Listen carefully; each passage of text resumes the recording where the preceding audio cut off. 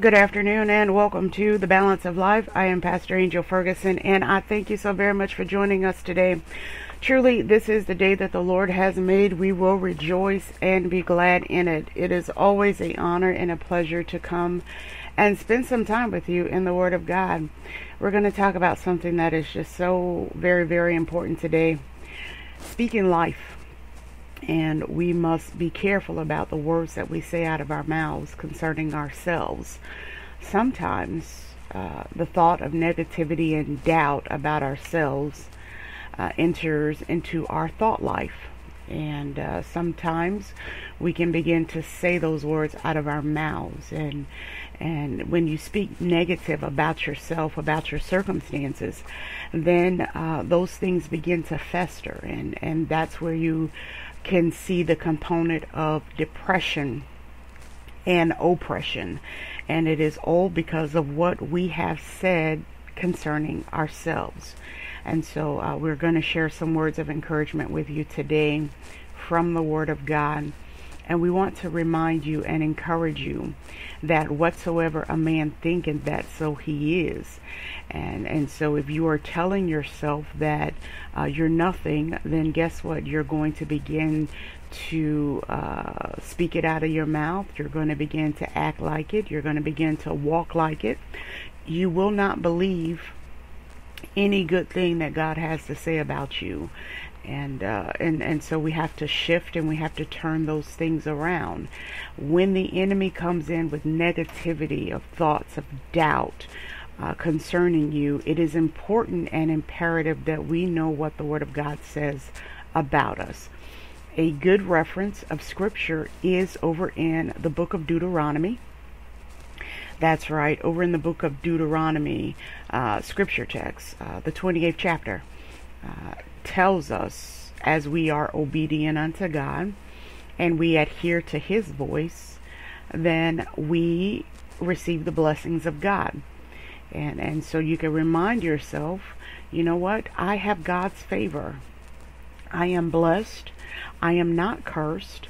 The fruit of my uh, of my womb is blessed and and it produces good fruit. Uh, I do have seed to sow. Uh, I am above and I am not beneath. I am blessed. I am not cursed. Uh, remind yourself that it pleased God uh, to bring you into this world and and it pleases him to protect you and to bless you also remind yourself I am loved. I am loved by my Father which is in heaven. I am love and I am loved and uh, and so we're going to talk about that today. It just really, really um, has been on my mind, uh, not just this morning, but last night. It doesn't matter who you are; the enemy is going to try to uh, deter you and make you think that you are less than what you are. Another thing that we're going to talk about and touch, there's so much to touch about concerning this, and we might do a part two for tomorrow. All depends on what we cover. If you think that you're going to fail, you will. I'll say that again. If you think that you're going to fail, and this is connected to your purpose, goals, and dreams, so yes, I think we will cover part two. If you think you're going to fail, you will fail because you're going to tell yourself you can't do it. You're going to fall into a pit of of lack of trying. And and to be honest, the only way an individual fails is when they do not try. When you don't put forth an effort. So, when you begin to think that you're going to fail, connected to your purpose, your goals, your dreams, your thoughts will deter and cause an effect on your actions. And so if your mind is telling you that you're going to fail, guess what? You're not going to put forth any effort. You're not going to try. And the end result is that you will fail. So we want to turn some things around. I'm so excited uh, for each and every one of you. And listen, I'd like to invite you to visit us and, and be a part of virtual Bible study on tonight with Faith Outreach Deliverance Church, Bridgeton, New Jersey. Virtual Bible study begins at 7 o'clock p.m. We are in the building, the sanctuary, but we also offer virtual Bible study as well. Once again, 7 o'clock p.m. tonight, virtual Bible study with Faith Outreach Deliverance Church, Bridgeton, New Jersey. It is on the church's Facebook page as well as I try and share it on my personal page, Elder Angel Ferguson Ferguson.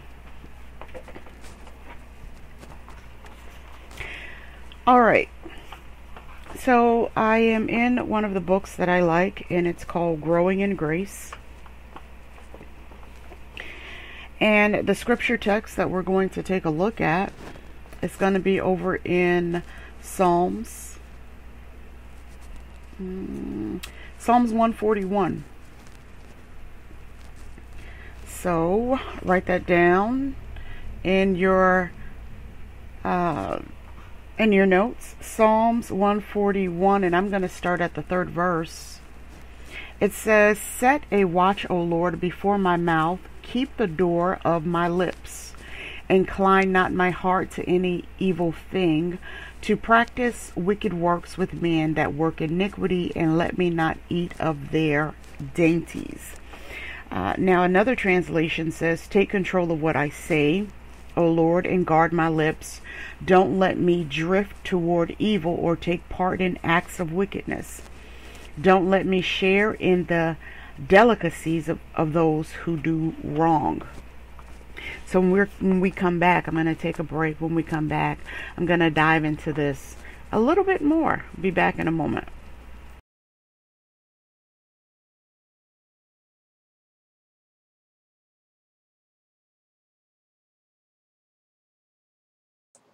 And welcome back to The Balance of Life. I am Pastor Angel Ferguson, and I thank you so very much for tuning in today.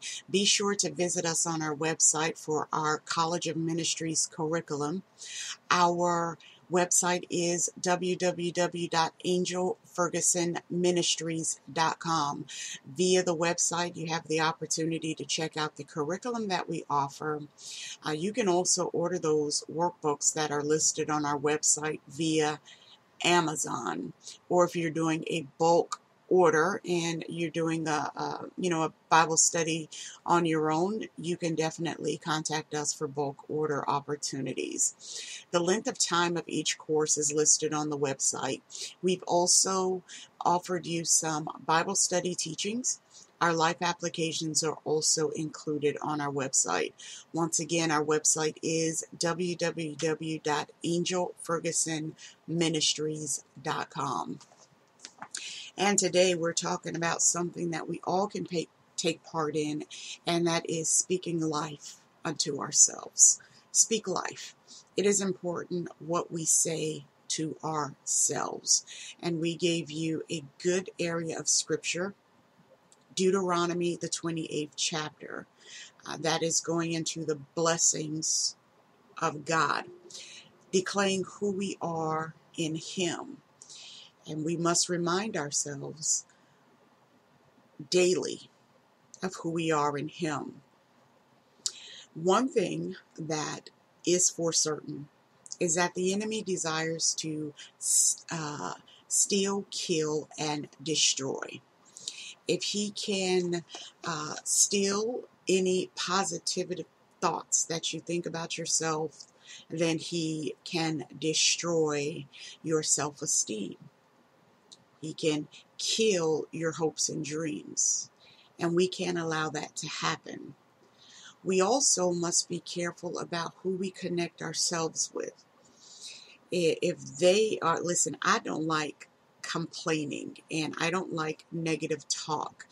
I do not uh, want to be a part of or connected to anyone who has no drive. Everything there's a but. Uh, there's a negative spin on everything that they say. I don't want to be connected to anyone like that. I don't want to hear um, before you even start, you've already counted yourself out. Uh, I don't want to hear that. I don't want to be connected around anyone who is like that. And so when I begin to hear a person say, I'm going to lose this, I redirect the conversation. Have you tried? I will actually say to an individual, the only failure you can actually come to is if you don't try. That is complete failure. But when you have tried, you've gained some knowledge, you've gained some understanding, you've gained some perspective. Listen, you might have to do the process over again, but you're not starting at the beginning. Why? Because you have tried, you've taken some steps, and so you know what to do at this point. So when I say speak life, speak life to yourself. Another thing that's important to understand is we can't speak life to others when we don't speak life to ourselves. Encouragement starts at home. Charity starts at home within. So, how can we encourage someone else when we can't encourage ourselves? How can we tell somebody else, I believe in you, I believe in the potential of you, if you don't believe in the potential of yourself? Something to think about, huh? All right, so let's read a little bit. We gave you Psalms 141. We read verses 3 and 4 from the King James Version as well as the NIV. So take a listen to this. It says, David prays fervently that the Lord will guard his words. The New International Version, 1984, translates it like this Set a guard over my mouth. O Lord, keep watch over the door of my lips. David's prayer progresses along with these lines. First, guard my lips so that no wrong words don't escape, so that wrong words don't escape. Whatsoever a man thinketh, that so he is. And so if you think negative, you're going to begin to speak negative. And then your speaking turns into further actions of negativity. Have you ever found yourself doing things to sabotage your own purpose, goals, and dreams?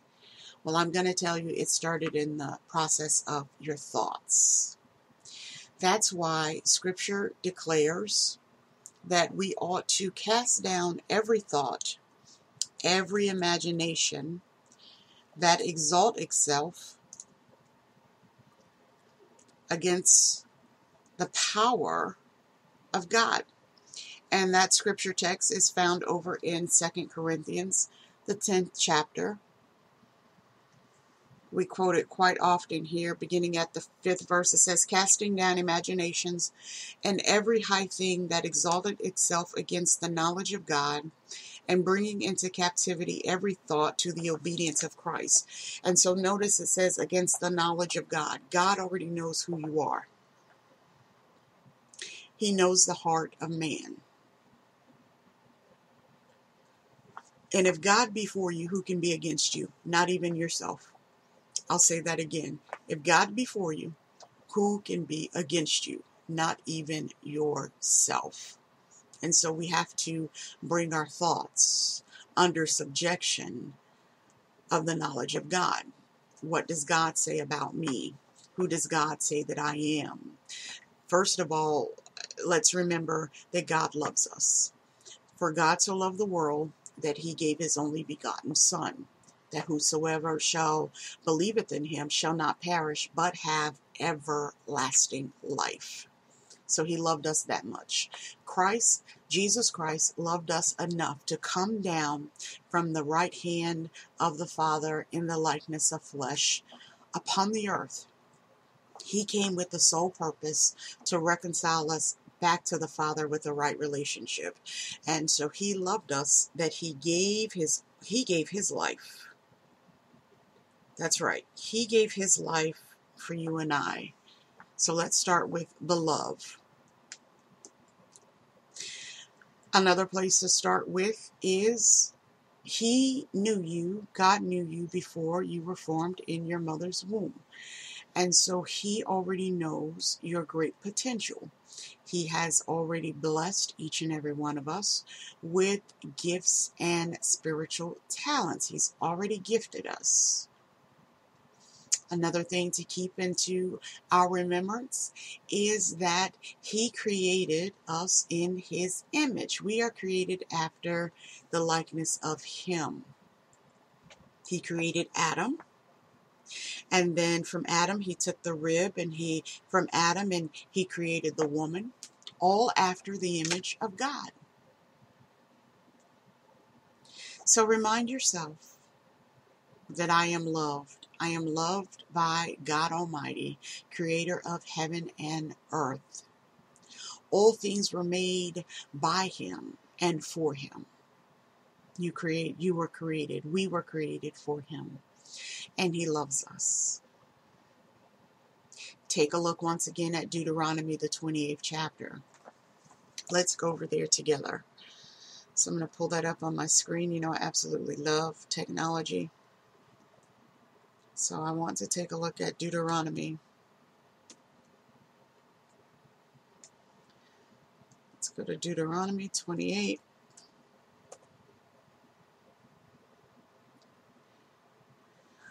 And it reads as follows And it shall come to pass, if thou shalt hearken diligently unto the voice of the Lord thy God, to observe and to do all his commandments which I command thee this day, that the Lord thy God will set thee on high above all nations on the earth. And all these blessings shall come on thee and overtake thee, and if thou shalt hearken unto the voice of the Lord thy God. Blessed shalt thou be in the city, and blessed shalt thou be in the field. You're blessed. I know that sometimes we can look around at our circumstances, at our current circumstances, the current atmosphere all around us, and in the natural eye, it does not meet our our expectations of where we know we have the potential to go. But I want to encourage you listen, get up, begin to straighten some things up, begin to model your uh, atmosphere towards the vision that God has given you. That's right, you can do it. You can do, do it just where you are. If you see in the vision what God wants to do in your life, and I'm talking, listen, sometimes your decor can depress you. You know why? Because you you've you've received a word of what God is going to bless you with, but you're not seeing it in the natural. Begin to do things in faith. You don't have to do it all at one time. Sometimes, and I'm listen, I'm just going to be very very honest with you. Sometimes the messiness of a room can bring you depression because all you look around is you see stuff out of order. Well, guess what? Get up and clean it up. Do a little bit every day. Get rid of the trash. Get rid of the junk. Get rid of the broken things. If you have to do it piece by piece and replace it with better.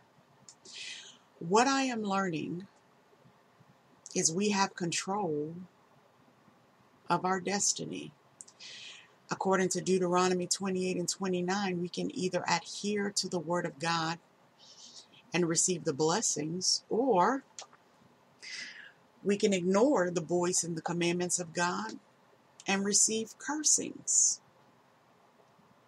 But our message for all of us today is I want you to speak life to your life.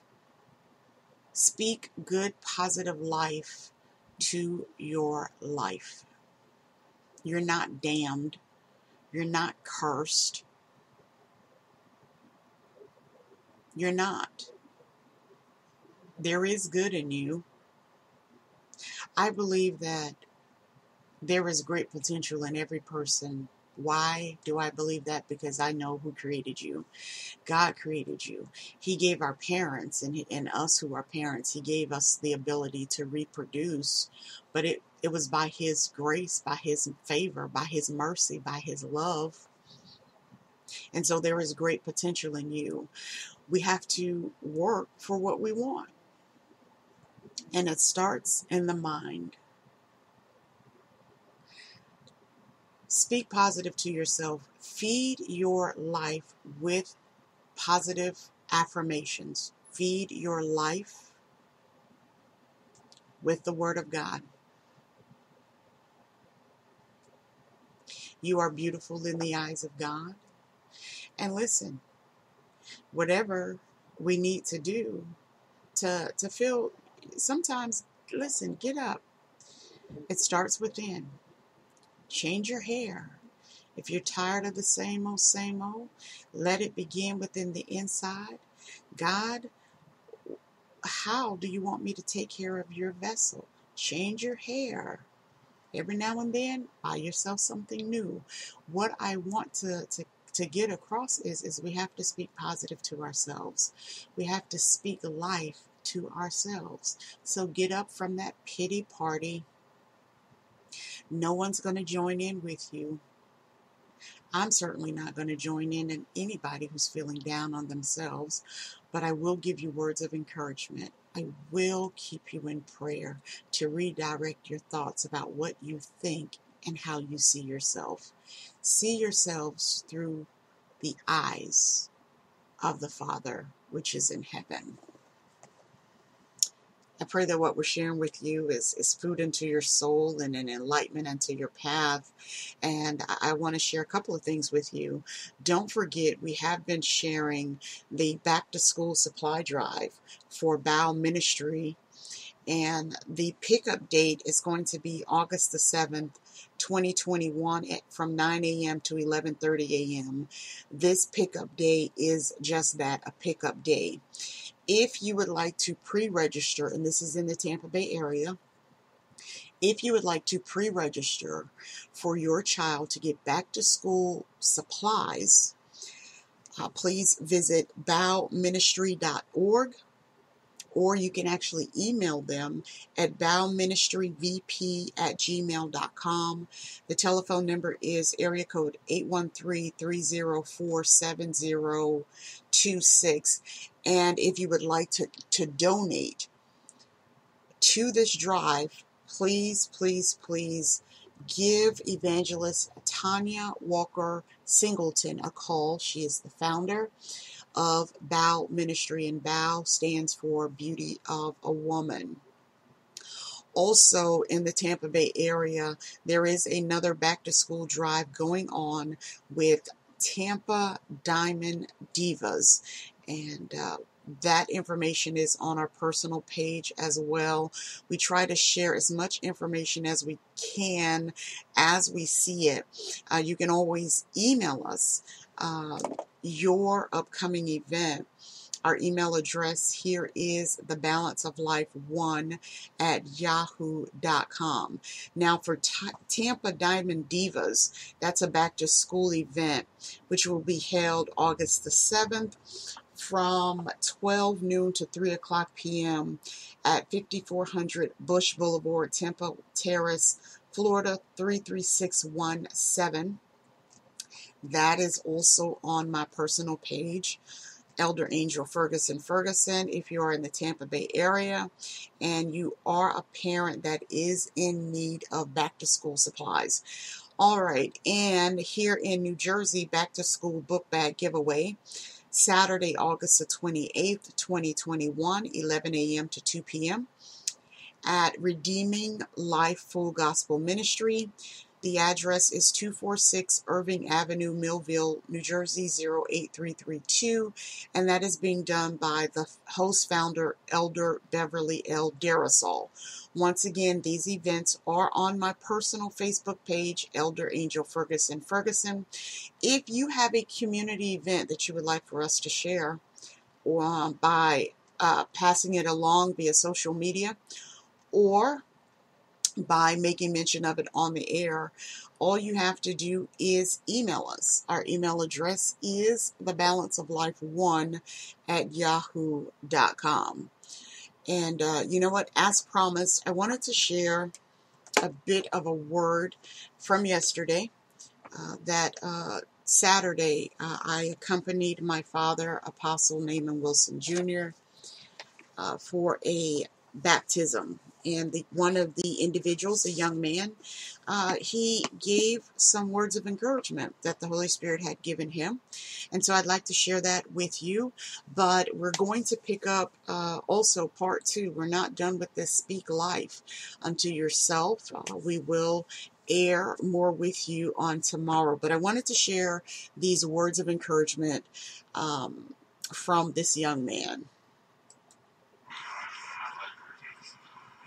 said we're two or three are gathered, uh, we're in the midst with you, so we just thank you for being here with welcome with open arms. We your, your presence, Lord Jesus. We ask bless the word, bless, bless the words that come out of my mouth. We ask you to take over, Holy Spirit. You have your way. And we say yes to your will and yes to your way, Lord Jesus. Allow our, our footsteps to line up with the word of God. In Jesus' name, pray. Amen. so basically, I was at work and I was just working. And I was trying to build a lesson because something had happened during the week with all of us. Like it was it's a group of us, and something had happened, and there was like confusion going on. I'm like, man, this is like the enemy had us like a war, like a war going on. Mm-hmm. So I'm like, man, Jesus, give me something like in like a, a strategic way, like we were going at war. And so how he gave it to me, the name was the body of Christ.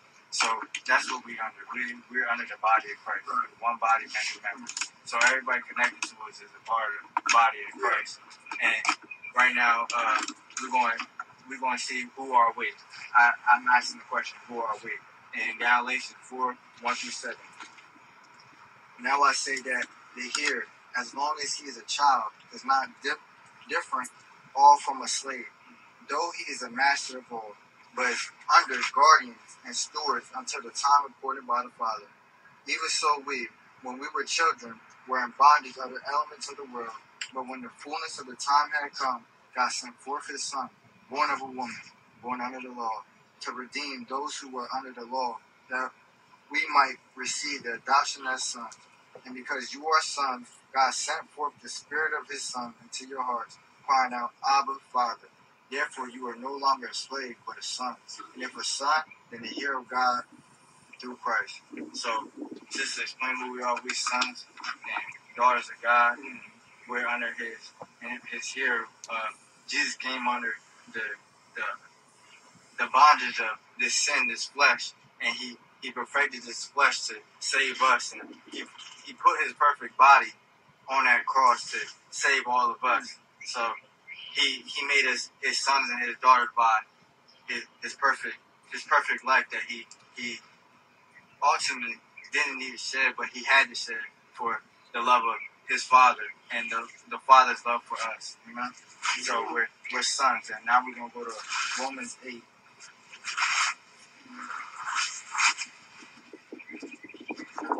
Romans 8, 14 For as many as led by the Spirit of God, these are sons of God. For you did not receive the spirit of bondage again to fear, but you received the spirit of adoption, by whom we cry, Abba, Father. The Spirit Himself bears witness with our spirit that we are children of God. And if children, the heirs, and the heirs of God and joint heirs with Christ. If indeed we suffer with Him, that we might also be glorified together. So, I, the Holy Spirit led me to that verse because um, not he didn't say this walk was going to be easy, and he said if we're going to suffer, if he suffered, then we're going to suffer with him, and if he reigned, then we're going to reign with him. It's just all it's all up to us what, what we want to do. If, if we want to be of this world and be uh, sons and daughters of the devil, then that's what we're going to be. But if we want to be sons and daughters of God and Jesus Christ and follow Him, then that's what's going to come with it. We're going to suffer, but suffer for the love of God, and not suffer just because we're not suffering, long suffering, because the the ultimate glory is when he takes us up and he he said, "Job well done, my faithful servant." All right, isn't that awesome? And this young man, I believe he is 17, 18, somewhere up in there. What an awesome uh, word that that that he's been given to share, and so it's such an honor to be there in the presence as he shared what the Holy Spirit has given unto him. That particular video is on my personal Facebook page, Elder Angel Ferguson Ferguson, and it's from Saturday. So if you want to go over and watch that video of the young man sharing the Word of God, please do so. Don't forget to join us for Bible study tonight, virtual 7 o'clock p.m. via Facebook Live. Uh, it will be on my personal page, Elder Angel Ferguson Ferguson, and we'll be back tomorrow as we continue our topic on Speak Life. Have a blessed day, everyone.